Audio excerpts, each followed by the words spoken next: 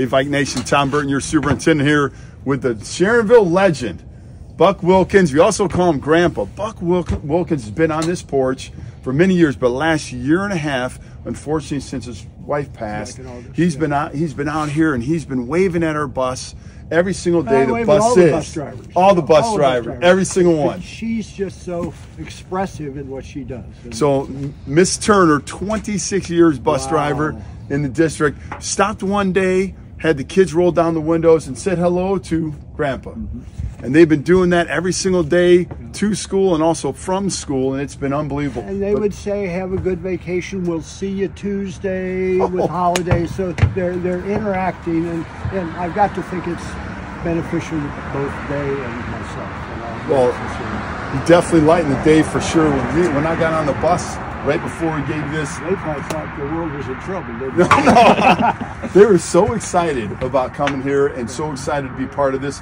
There's also a nice little card here. Thank you for your service.